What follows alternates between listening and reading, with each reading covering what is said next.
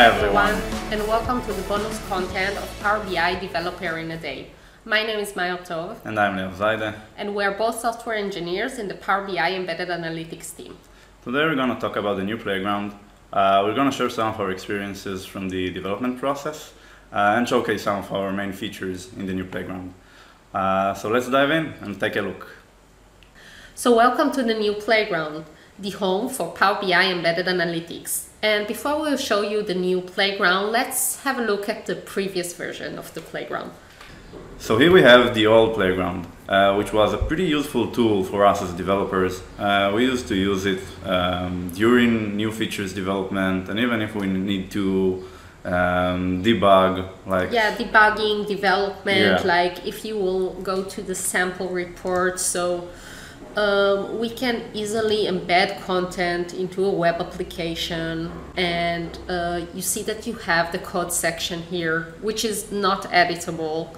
So which was a really issue for us yeah, developers. yeah, Also for customers, like it's a share, it's a pain point that we share the developers and our customers. After we embed uh, content, so we can go to the interact tab and try out um, different APIs of Power BI JavaScript SDK. So there is no not really separation uh, between decision makers who are not interested in code and implementation details and developers.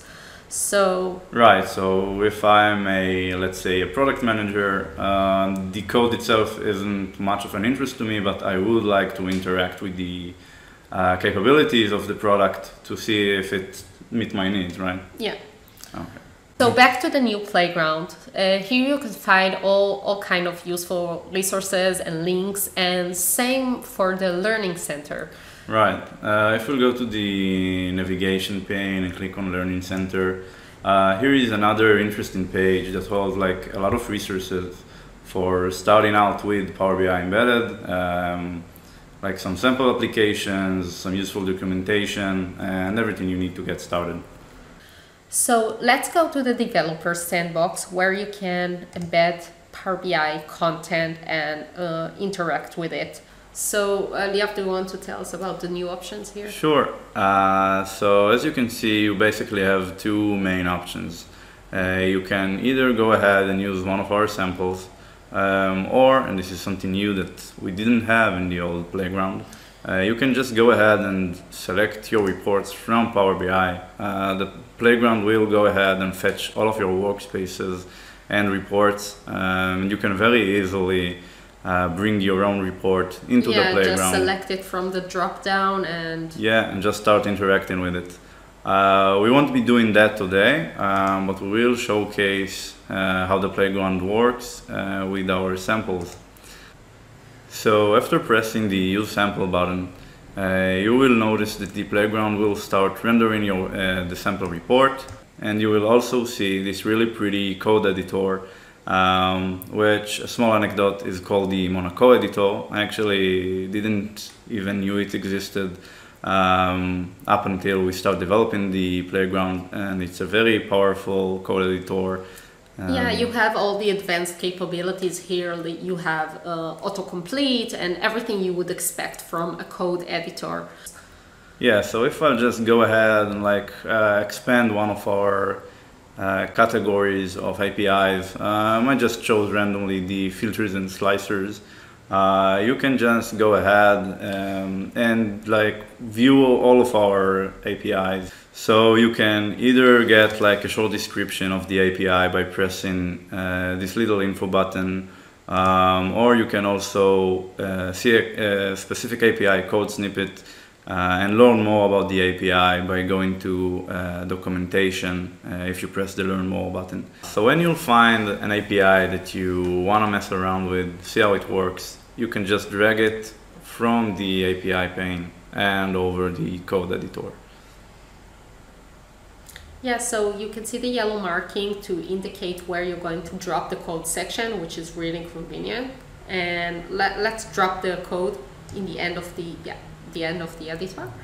Here you can see uh, the code snippet itself was added to our code, to our base code. Um, what's important to notice is that we have these yellow markers These will mark the variables that you'll probably want to change when working with your own reports, like the table name, the column, the values themselves.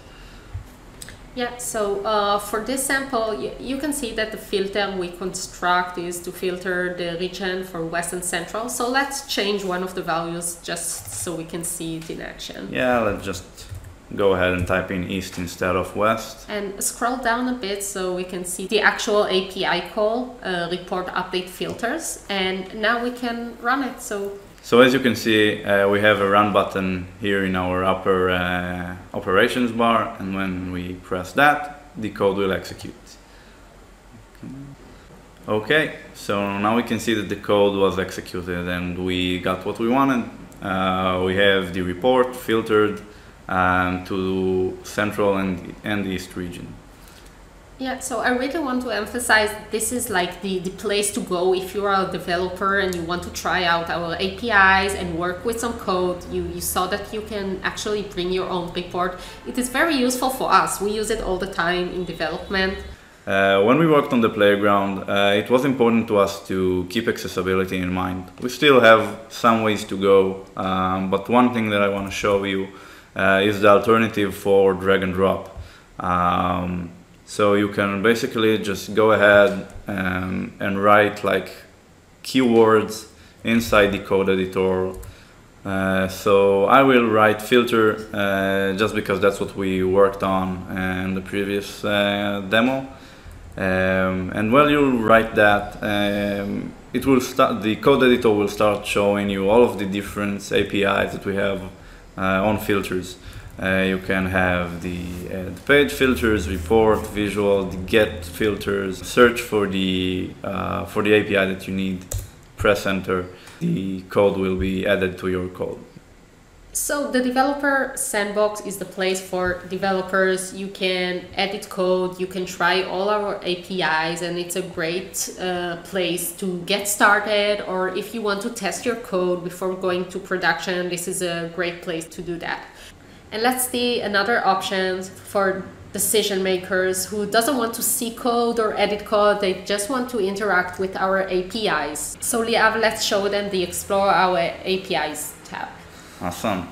So this is the Explore Our APIs tab, which is basically very similar to the developer sandbox in terms of you have, you can embed Power BI artifact and you can interact with all the APIs but it doesn't have any code editor. You don't see any code here. So this is really the place for decision makers. So here you can see all the types of artifacts you can embed and you can see in which mode you are embedding. We have view mode, edit mode and create mode. And if I will go left to the explore our APIs bar, and uh, so we have here all the list of APIs. And Liav, can we demo the uh, search capability? I think it's very, very nice to have. Sure, Mai. What API would you like to see? Uh, the slicers API. Okay, so if we just go ahead and type in slicers, uh, we can see that we either can uh, set the slicer or get the slicers. So obviously we want to set the slicer. And as you can see, uh, the report was rendered again with the new slicers. Um, yeah, we also have the log option. Like we can show uh, show what are the outputs of the uh, SDK operation because there is no code here. So yeah, so if I just go ahead um, and click on the show log button, uh, there's a custom log that was that popped up uh, on the right screen um, which will show us all of the results that the APIs will return. Yeah, um, maybe we can try the get visuals API to see the, the log. Yeah, sounds good. Let's search for it. Oh, here is the get visuals API. Wait, we need to clear the log first. Oh no, so but we, we have see. the auto clear options on. oh, I um, forgot about it. Yeah, yeah, we, we do. And when we'll just click on a new API, it will just render the new uh, results uh, in the custom log menu. You can navigate the showcases using the left navigation pane. And this is the place where you want to go if you want to see an end-to-end -end, uh, experiences um, created using our JavaScript SDK. So right, so like uh, a specific showcase that I really like is the go from insight to quick action. Yeah, it's really useful. Yeah.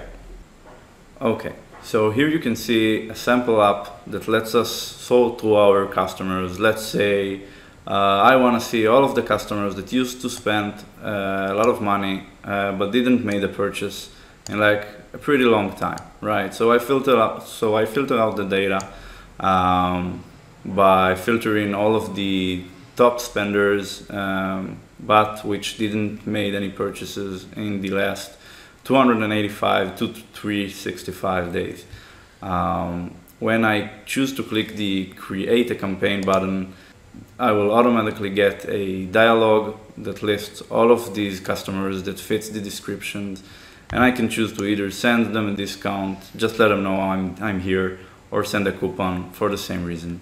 Yeah, so we are using behind the scene. We are using the um, export data API to like show the the data that, that is in the dialog, and um, maybe we'll show them like where we can find the code for the. Um... Yeah, sure. So if you find any showcase that that interests you, uh, you can just go ahead and in this top uh, top bar, click on Get Resources this will open up the GitHub page for this specific showcase, uh, where you can just scroll through the code, um, see the implementation, get some ideas.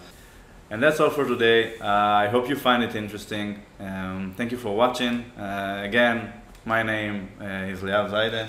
And I'm Hartov. And we hope you enjoyed. Thanks a lot. Thank you.